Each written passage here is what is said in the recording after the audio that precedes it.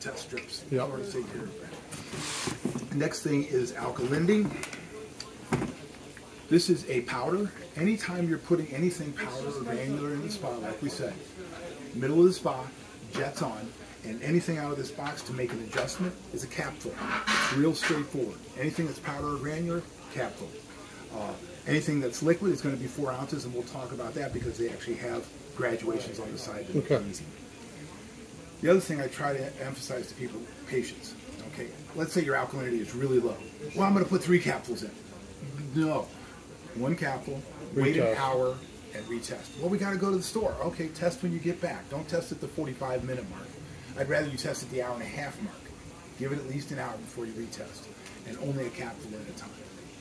You'll notice this is alkalinity increaser. There is no alkalinity decreaser because it goes down by itself over time. So if you take a reading and it's high, don't worry about it. It's coming down. No big deal. It's not going to affect. Nope.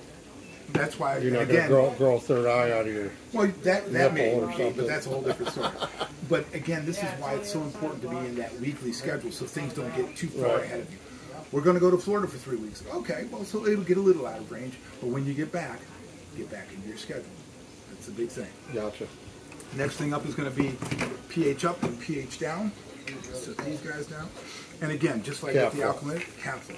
Because they're powdered granular. Yep. Capsule, jets on. Yep. Center their spa. Just retest and capsule, went talking about like one of those. out. Cap- No, the top of the cap. Yeah, it's that's all. capsule. Yeah. It's real simple. Yep. The last thing on the test strips was hardness. Okay. Just like the alkalinity, did that pop off on you? Yeah. Um, just like the alkalinity, there is no hardness decreaser because it goes down by itself over time. Um, you re- take a reading at a time, don't worry about it. It's coming down. Yeah. Okay. Those guys are the single That's most it. important stuff. Now, we talked a little bit about filters, and I, I'm a nut about cleaning my filters. I, I have to admit I am. Right. But there are some filter cleaners that are spray on, let it sit for five minutes, and hose it off. I don't think they do a good enough job, and they're actually more expensive. The big thing about this is it has to sit in the cleaning solution for at least 12 hours. I let mine go overnight.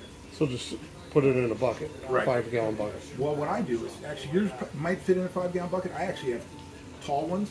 Right. I went to Dollar General and got a tote, and I lay them horizontally down in the tote. This way, I use less water and I get Do them another both. cap full for that. Nope. This one is one of the liquids. So anything that's in Right. the box is going to be four ounces. Ignore what the bottle tells you. They want you to use As much as you can. Yeah. Right. Okay. They want you to use eight ounces, four ounces is plenty. The big thing is the amount of time that it sits in there. Okay. At least 12 hours. 24 is fine. That's what I do. Is I rinse them out Sunday morning after I've put them in there on Saturday. Um, every week, you're saying? I'm doing mine every two weeks. Two weeks. At a bare minimum, once a month. And you're only using your top usually. Yeah. I mean, sometimes the wife gets in, sometimes, Right. uh, but I'm in it six, sometimes seven days a week. Right. You know, I have to be in it. And this is for the filter Filter Use cleaner. filters. Filter cleaner. every two weeks, and we replace the filter every. year. Every year. So, Every year, Uh, okay. but the thing of it is, you should get a second set of filters. Right. Um, So you can put, you can swap them out. Right, and you don't want to run your spa without filters in it. Right. Guaranteed, you'll get a hair Something. scrunchie or a popsicle stick or Right. whatever. And I've removed all those things from pumps. Right. And these are the same people that said, "Oh, I would never run it without a filter in Right. it." Yeah, well, they didn't get in there if the filter was in. And to replace the filter can it be on Amazon. Oh, I have to physically go Sure. get them. Yeah, Sure, you can do just, that. just, yeah. The best bet for that though is always, um, it's kind of like, uh, you know how you got a Ford Escort Yeah. and you need an oil filter. Right. And there's six different companies that make oil filters for Ford Escorts, and it's all the same filter, but they're all different model numbers. Yeah. Once you get one of the model numbers, you can look it up across any platform like So I can actually Google this hot tub off of Amazon. Uh, don't don't do that. Don't do that because they could make two of these hot tubs side by side With on different- and with different. So what we're gonna do is I'm gonna I'm gonna sh- tell you what it is. Yeah, we do need to get more water here. This is going to be what's called a P3. Okay? P3. Yep. Uh, there's going to be all different kinds of other model numbers, but if you Just put in P3? P3, yep, that'll go. on Amazon. Yep. And like I said, we really do so much business. We beat Amazon on most everything. So Yeah, I just way, if cool. But we're far. we're far. Yeah. yeah, exactly. But keep that in mind, or keep it, you know, on the phone somewhere. But P3 is what you need to know. Okay, so also the night before. Oh, your oils are leaking. I hate those oils. Um, the night before you do your filter cleaning. This is what's called a non-chlorine shock. Unfortunately, a lot of people use the word shock incorrectly because there's two different kinds of shock. There's chlorine shock and non-chlorine shock, and they just use it interchangeably. They do way different things. Chlorine shock is a sanitizing thing. Non-chlorine shock is for um, organic matter that's in the water. It breaks it down, binds to it, and allows the filter to pull it out. It's a gentle way of saying skin and hair and whatever else is in there. The important thing is to do this. I do it the night before I clean my filters.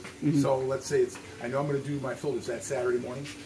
The night before, Friday night, I'll put a quarter cup of this in. Now it's powder, so you're going to put a quarter cup in, jets on, center of the spot, and then just let it run for at least 12 hours. You should do it every couple of weeks. With the jets for 12 hours? No, no, just let let it be in there for 12 hours before you do your filters. That's Before why I you do do. it the night before. And the filters, 12 hours. Uh, at minimum 12 hours. Okay. Sitting in the solution, yes. Okay. You can do it tw- longer. I do mine 24. Just order the filters. So And be you good. said how much of this goes in the water? Quarter cup. Quarter cup. Right. Let it sit for 12 So hours. Came up on P3 real quick, didn't it? Well, it's a uh, what do they call it? PWW50P3, That's- one and a half inch coarse thread. And they'll also call it like an FC 0300 and Yeah. uh, there's a, a 40 bucks for two. Are the jets supposed to be on when you put that one in? Anytime you put anything powder or granular, you put you have your jets on. For how long? So they're on. They're on a 15 minute time. 15 minutes. Make sure everything So if cycles through. Yeah, it's just you want to make sure, and that's why you also pour it slowly because you don't want it to all just sink to the bottom. Just take your time. Patience is the key to everything. Sure. Um, keep in mind when you're rinsing your filters, wherever you have really good water pressure, that's important. I don't, you know, I don't care if it's a utility tub, your outside hose bib, your kitchen sink. Utility tub in there. Do you see Good it? water pressure is important because you got to rinse it really, Yeah. really well. When you start to rinse it, it's going to start to foam, so you make sure you rinse it till it stops foaming. Okay. And then you put it up on the shelf and you're good to go for whenever you do your filters again. Four ounces of that. Correct. Anything that's liquid has the graduation. Can I leave that soaking for how long? Uh, 12 I do hours. mine 24 hours. 24. But if you go 48, No, it's not going to just make sure it rinsed off when you're done. The other thing is never let a dirty filter dry out. If you let a dirty filter dry out, it's going to concrete onto the filter material. You'll never get it clean. You might as well Right. toss it. Goes right into the cleaning solution. That's the most important thing. Yeah. Um, the last three here, the ones with the pink tops, I'm not a fan of those chemicals at all. I call them party chemicals. Um, let's say you're getting ready to have a party, and the spa has looked like this for months and months. It's been perfect. And so you're gonna have a party Saturday night at six o'clock, and the wife says, "Go check the spa," because even though we shouldn't care what our friends think, we care what our friends think. Right. And so you open it up, you turn it on, and there's foam. Now you know it's a seven-day rinsing process to get rid of the foam. Right. But the party's in two hours. You can use defoamer. The thing of it is, it does nothing for the underlying condition. It's going to hide it for six to eight hours, and it's coming back. So we got to constantly take take those out, rinse them off, put them If, back if in. you have that problem. But again, this is why I call this a party chemical. It's Right. just to hide it for a little while and make your guess. You guests. still got to get the soap off the You still got to filters. do what. That's why we talked about corrective Yeah. and preventive actions. It's Right. important to know both things. Yeah. Same thing, you're getting ready for the party. Party's in two hours. No foam, but the water's cloudy. If the water's cloudy, that's usually indicative of one of two things or a combination of two. You let your chlorine levels get low, you haven't cleaned your filters thoroughly enough or often enough, or a combination of two. Right. But the party's in two hours. You don't have enough time to do it. You can use clarifier, and again, it's a liquid, so four ounces. Anything that's liquid is four ounces. It'll work for six to eight hours, but it's coming back. It does nothing for the underlying Got it. condition. Okay. They're just party chemicals. and That's mine. Still all have the foil seals on. Right? I just I don't want to be sitting with more chemicals than I have to. Right. It's important to have them, I guess, but much better to understand what's causing the Right, problems right. and prevent. Then it's cheaper too. Yeah, yeah. And my wife doesn't like chemicals yeah. at all. Last thing is the stain and scale preventer. Um, they usually recommend putting two to four ounces of this in every single week. It's for ring around the tub. Like that right there. Yeah, it doesn't actually prevent ring around the tub. What it does is it keeps it soft instead of it getting crushed and you wipe it out with a rag. But my contention is, if you're paying attention to your contaminants, you're not going to get ring around the tub. You don't have to put this in. Yeah. Okay, pay attention. But I present it with the party chemicals because more than likely, you're going to have 14 people over. Um, and if your friends are anything like my friends, they're going to have varying levels of hygiene. Right. Uh, you know, and uh, so you may want to put two to four ounces in before the party to make cleanup afterwards easier. And again, Cool. friends, friends are all wonderful. Yes, ma'am. I um, uh, you said it at the beginning when um, um, we clean the outside and all that stuff is the spray. What do we clean it with? Uh, Lysol tub and tile or scrubbing bubbles. One of the things I do, I'm a, I'm a huge fan of Harbor Freight. And if you go to Harbor Freight and go into the automotive department, Right. they sell these packs of terry And that won't interfere with the water foaming? No, that's but that's why you rinse really well. Remember, you're going to empty it. You're going to wipe everything down, including the underside of the cover. Rinse really well. Use the Oh, sump that's pump to that's pull when it you're out. doing the, Yeah, the drain. That's only when you're The doing whole drain. I want to record everything. Yeah, that's only when you're doing water changes. Okay. Um, the last things in here are the fragrances, and I am not a fan of the fragrances, um, only because they claim to not be oil based. They are oil based. If you um, if you decide to use the fragrances, no more than an ounce at a time, no more than once a week. But let's say you decide that you just love the smell of pine. Right. Okay.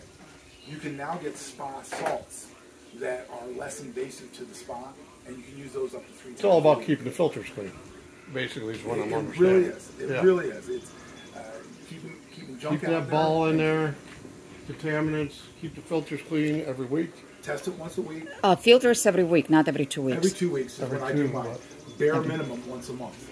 Okay. Okay. Not every week. Every two weeks. Yeah. I mean, if you got the second set, I mean, there's really, honestly, you don't do anything except have your your tote or your bucket handy. You pull the dirty ones out, put the clean ones in, and go For 12 hours and then rinse it, let it sit in the water Sunday for 12 morning. hours, Yeah. rinse it off. Yeah. off, That's them it. up, and away you go. And that's all it is. Once you get into the routine, everybody's like, "Oh man, this is going to take an hour every." No, No. It's going to take about three to five minutes every, Right. every Saturday. Every- Sunday. yeah. You know, it's like it's not that. And if you don't use it, still got to do everything. You still gotta do it all. You got to test every week. That's I had a guy. I didn't use it for three months this winter, so I didn't pay any attention to the water. I said, well, that's why it looks like it does. That's why you've got black algae all over your cover. And oh, I didn't. Well, oh, so now I gotta. Yeah. So I can't just leave it. I got. I'm gonna have to have it dumped out. well, that, that if you're not going to have somebody doing the chemicals, go ahead and do the clothes. Close it. We'll have to empty out Yeah. for whatever we're not here. Yeah. Cool.